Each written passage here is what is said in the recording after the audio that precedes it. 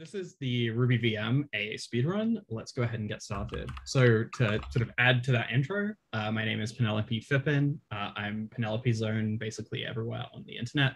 I use she or they pronoun sets, uh, and I am trans, and I use like demifemme as my gender identity label, and you can look that up if you want to find out more. Um, so as I was writing this talk, it became sort of like increasingly circuitous uh, as we began to think about like uh, abstractions and compilers and how stuff relates to uh, the Ruby virtual machine. And so I promise you we will get there and we will look at some of the detail, but I'm going to talk about a bunch of other stuff that I think is interesting and related first. Um, also, this talk is perhaps less educational and less practical uh, than the previous one, but I it, there is a bunch of really interesting stuff uh, in here, and so I hope you find it interesting. Um, we're going to be talking a lot about notions of abstraction today, and if you take one thing away from this, uh, it is very muchly that like when you are writing Ruby, you are leveraging on top of just incredibly, unbelievably powerful layers of abstraction in the CPU and the compiler and your computer. And that, like, it is truly amazing that we can write software in the language of our products uh, and that it all actually works.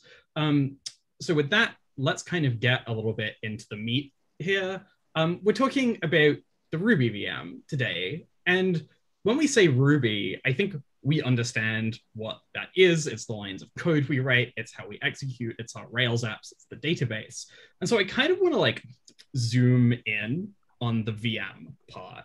And very specifically, like when we think about VM, that stands for virtual machine, and that like virtual is an adjective, so that we can throw that out as well and really zoom in on just the M here or like the machine part in virtual machine.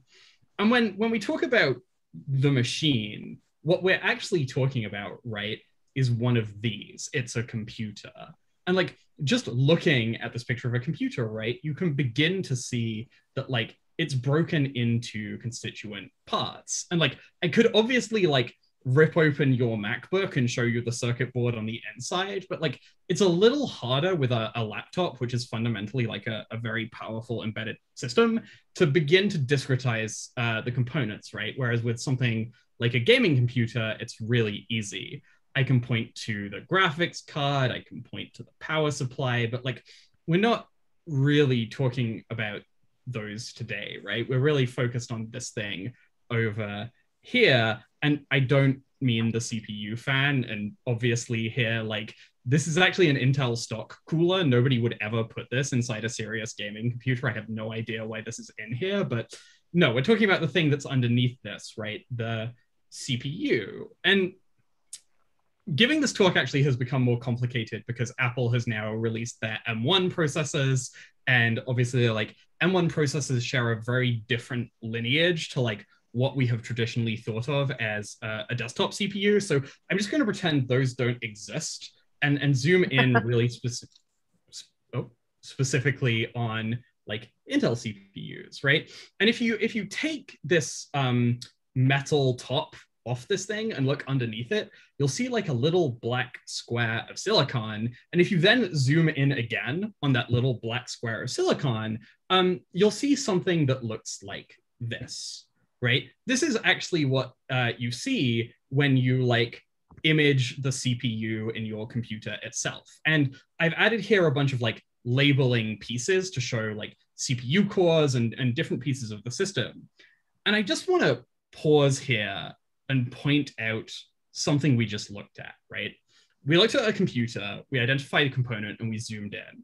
And then we looked at the CPU and we identified different components and we zoomed in, right?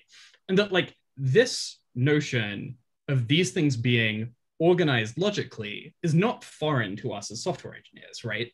When you're writing a Rails application, you are building models and views and controllers, and you are logically organizing your system based on something that makes sense to you.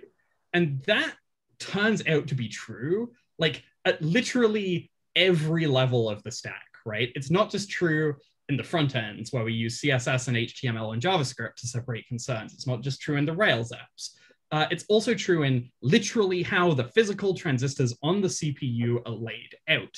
There is a reason the IO stuff is far away from the graphic stuff in this diagram. It's that information has to logically flow through the system. And I just think it's like really interesting and important to understand that like this notion of building these layers of abstraction applies at literally every layer of our systems. Um, so Intel CPUs are programmed in a programming language called x86 assembly. And there is a reason for that, right? This, this Intel CPU that we're looking at is actually not so fundamentally different from this thing. This is an Intel 8086 that was first built in 1978. Um, and, and it is true that I can take a program written for this piece of hardware, this little blob of plastic, and run it on my Intel laptop today, right? This processor from 1978 fundamentally runs exactly the same programming language, this Intel x86 assembly, as my laptop does today. Now, the same is not true in reverse. It turns out that Intel has added features over time. And so like I can't take a modern program it and execute it on an old CPU, but we can we can move things from old to new. And I think that's really cool. And if we do the same trick, if we zoom in on, on this CPU, you can see it's also logically organized. I don't have a diagram here, unfortunately, but like you can see, right, the layout on the top left and the bottom right are completely different. And the CPU is also organized into sort of like logical units. And so this is where I, I, bring it back to what we're actually talking about today, right? We intuitively understand that the processor doesn't execute Ruby directly, right? There are many layers between the Ruby programming language and actually running this on the processor. And I want to just like look at a couple of those, right? So I mentioned that this thing executes x86 assembly. Um, x86 is what's called a register-based architecture. And, and really what that means is that like the only way to sort of like manipulate values is when they are in a piece of memory called a register that can only hold one value. Imagine if you had to write all of your Ruby programs where you can only have four local variables, and those local variables can't be arrays or dictionaries. That's basically what a register is. It's a single scalar value. Uh, our x86 assembly looks something like this, where we have instructions and they have arguments, right? So this MOV instruction is used to like load a value into the register, right? And EAX here is the name of a register. So executing this instruction, uh, MOV EAX5, uh, will store the value five in that register, right? And so if we execute this program from top to bottom, we'll move the value five into the register EAX, we'll move the value three into the register EBX, and then we'll come to ad addition. And you might be like, well, Penelope, addition is like result equals thing plus thing, and I only see two arguments here. What's going on? In order to save space and be as terse and minimal as possible, assembly languages often have shortcuts um, that enable them to let you write less code to be more precise with your instructions. So in this case, the result is actually just going to end up in the first argument, which will also be used as an input. So in this case, we'll say like five plus three equals eight, and we'll store the result directly in this EAX register. So that's the concrete machine, right? We have this assembly code, it's very low level, we're directly programming transistors. Let's come back to virtual machines. The job of a virtual machine is to abstract like a programming language away from any specific concrete processor, right? And we understand that like Ruby has a virtual machine and that Ruby is also not directly coupled to running on an Intel CPU, right? It can also run on ARM, it can run on Linux, it can run in all kinds of different places, right? But the thing that's kind of like important to understand is when we run the Ruby command, that is not the virtual machine. This thing here is not the Ruby virtual machine. This is the Ruby interpreter, which is itself made of many pieces, of which the virtual machine is a part. Um, so like what Ruby is actually going to do is compile your program to Ruby VM instructions and then execute them. And that the Ruby VM is only one part of the Ruby interpreter. So let's take a look at some of the other parts. Let's imagine we have this Ruby program, three plus five. Like that's our Ruby source code, right? And we know that that's going to evaluate and give us the result eight, the same as the assembly program we saw before. But the very first thing Ruby is going to do when we throw this program into the interpreter is it's going to turn it into what's called an AST or abstract syntax tree. You can think of the AST as a data structure which represents the program in a way that is more amenable to compilation and execution to make this concrete, you can actually ask Ruby to show you the AST representation of any given program. So here I'm going to run ruby dump AST uh, and get this back, right? This is an actual screenshot from running the Ruby interpreter on my laptop. And you can see here, right, we have the body of our program. The plus has been parsed out, the three is in there, and so is the five. Without thinking too much about the detail of what we're seeing here, we can begin to intuitively understand that when we give the Ruby interpreter 3 plus 5, it's going to create a data structure that looks something like this, where the plus comes first and then the arguments are like secondary in it. And hopefully you can see intuitively that scanning this from left to right is much easier to evaluate this addition than doing it with the plus sign in the middle. But maybe to make that more concrete, imagine we have a structure like 3 plus 5 times 6 well, now the addition actually needs to happen after the multiplication. And so what Ruby's parser is going to do is actually create a data structure that looks more like this thing here, where the multiplication is nested within the addition. Now, if we scan this left to right, we can encounter the plus, we can encounter the three, and then when we encounter this like nested expression, we're gonna save the fact that we're doing this somewhere else, evaluate this multiplication as we would usually evaluate the addition doing, you know, times five, six, put that result back in the place of the original and then complete the evaluation, right?